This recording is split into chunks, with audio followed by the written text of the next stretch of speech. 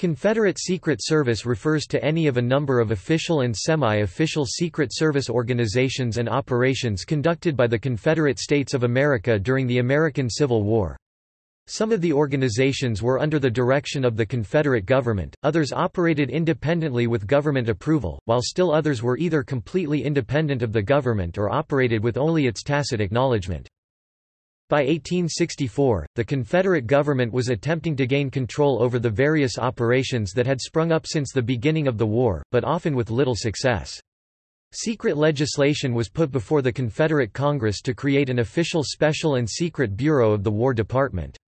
The legislation was not enacted until March 1865 and was never implemented, however, a number of groups and operations have historically been referred to as having been part of the Confederate Secret Service. In April 1865, most of the official papers of the Secret Service were burned by Confederate Secretary of State Judah P. Benjamin just before the Confederate government evacuated Richmond, although a few pages of a financial ledger remain.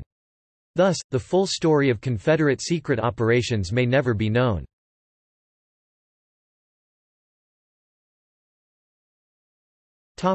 Military operations and officially sanctioned Secret Service activities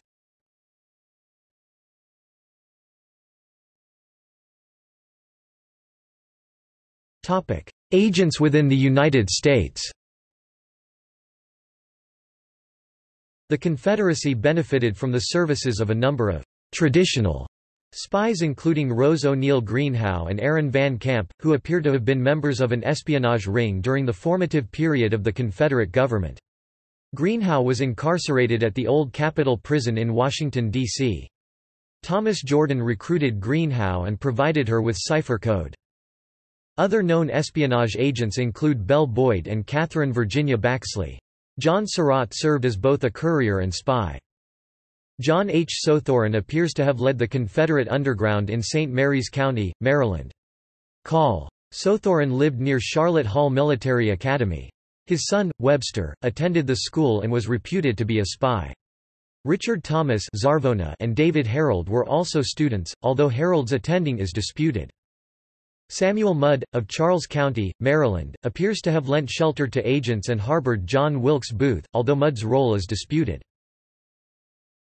Topic foreign agents The Confederacy's first Secret Service agent may have been James D. Bulloch.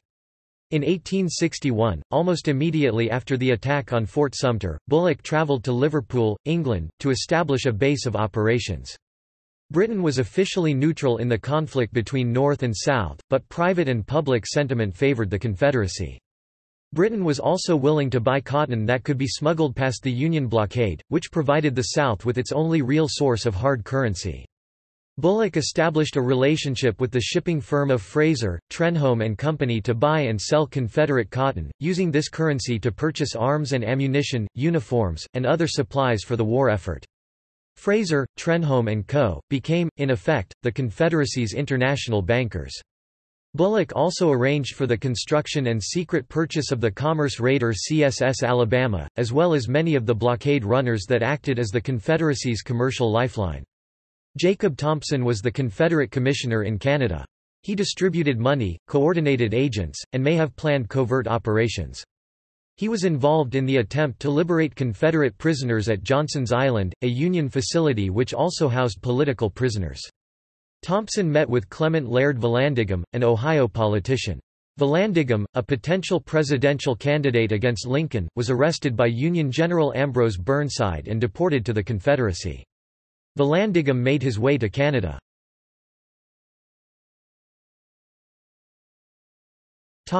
Signal Corps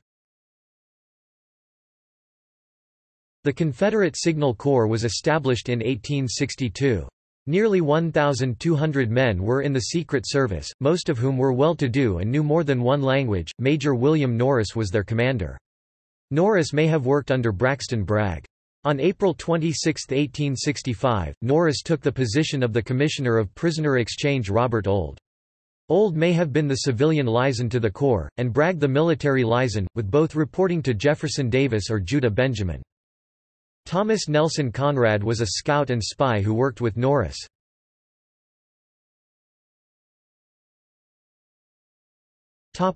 Torpedo Bureau The Torpedo Bureau, authorized on October 31, 1862, and headed by Brigadier General Gabriel Rains, was charged with the production of various explosive devices, including land mines, naval mines, and coal torpedoes.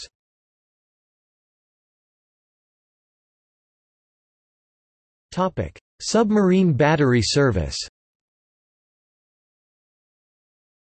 Created at the same time as the Torpedo Bureau, the Submarine Battery Service was the Confederate Navy's torpedo specialists.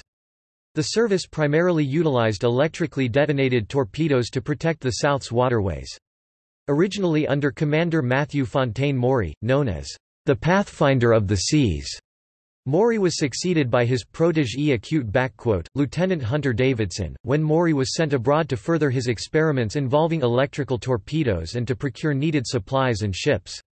The service operated along the James River between Richmond and Hampton Roads, Wilmington, North Carolina, Charleston, South Carolina and Savannah, Georgia among other locales.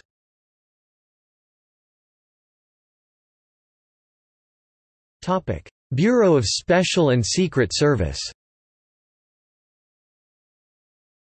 In November 1864, the Confederate House of Representatives in secret session referred a bill for the establishment of a Bureau of Special and Secret Service to their Committee on Military Affairs. The Bureau was to have a Polytechnic Corps. The existing Torpedo Corps was to be incorporated into the Bureau. New inventions were to be encouraged.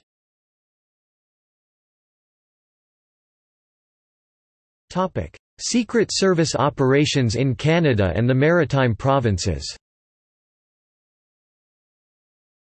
Confederate agents operated around Halifax, Quebec City, Niagara, Toronto, and especially Montreal.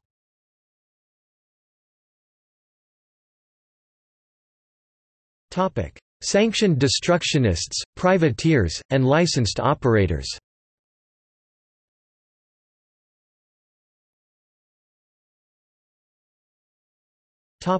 The Bounty Law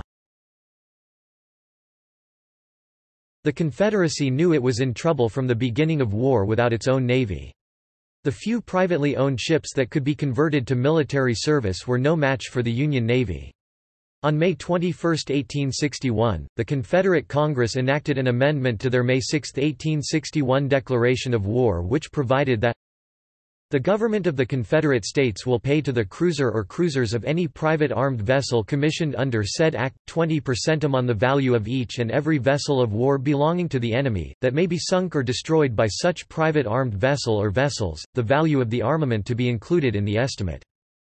In 1862, possibly following a suggestion, the Confederate Congress enacted a bounty of 50% of the value of any vessel destroyed by means of a new invention, the Congress of the Confederate States of America do enact, that the first section of the above entitled Act be so amended, that, in case any person or persons shall invent or construct any new machine or engine, or contrive any new method for destroying the armed vessels of the enemy, he or they shall receive 50 percentum of the value of each and every such vessel that may be sunk or destroyed, by means of such invention or contrivance. This attracted the attention of entrepreneurs. Horace Hunley put together a group of investors to finance the submarine that bears his name, hoping to profit from the bounties. Private individuals with engineering experience such as E. C. Singer, C. Williams, and Zero McDaniel developed and patented new torpedoes and fuses.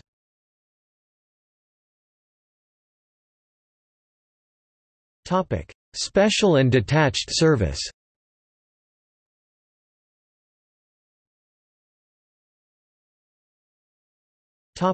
The coal torpedo Developed by Thomas Courtenay of the Confederate Secret Service, coal torpedoes were hollow metal castings resembling a lump of coal. The castings were filled with powder and then secreted in the coal bunker of enemy vessels.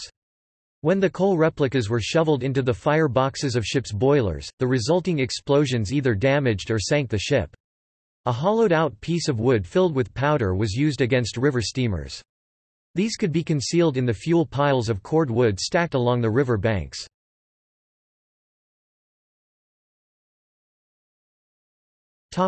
Active measures operations While it is not known if the Secret Service was involved in the following, the likelihood is great. On 19 October 1864, the St. Albans raid took place in Vermont by personnel in Canada. The attempted John Wilkes Booth plots in the assassination of President Lincoln in August 1864 and April 1865 may have been connected. This is argued in the Edward Steers Jr. book, Blood on the Moon, The Assassination of Abraham Lincoln.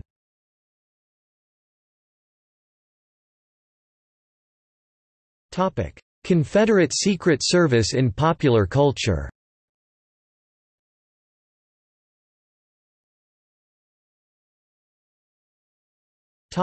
In literature. On the Wing of Occasions, by Joel Chandler Harris, Doubleday, New York, 1904 the Butcher's Cleaver, A Tale of the Confederate Secret Services, by W. Patrick Lang Rosemont Books, 2007, ISBN 978-0-595-71185-7 Death Piled Hard, A Tale of the Confederate Secret Services, by W. Patrick Lang iUniverse 2009 ISBN 978-1-4401-2391-7 Down the Sky, Volume 3 of the Strike the Tent Trilogy by W. Patrick Lang iUniverse 2012 ISBN 978-1-4697-7180-9 The Shenandoah Spy by Francis Hamit, Brass Cannon Books, 2008 ISBN 978-1-59595-902-7 the Queen of Washington by Francis Hamit, Brass Cannon Books 2011 ISBN 978-1-59595-171-7 In television A self-igniting liquid, referred to as Greek fire, in Season 1 Episode 711 of the BBC America television series Copper, is featured as part of a plot by Confederate Secret Service agents to burn down New York City, in 1864.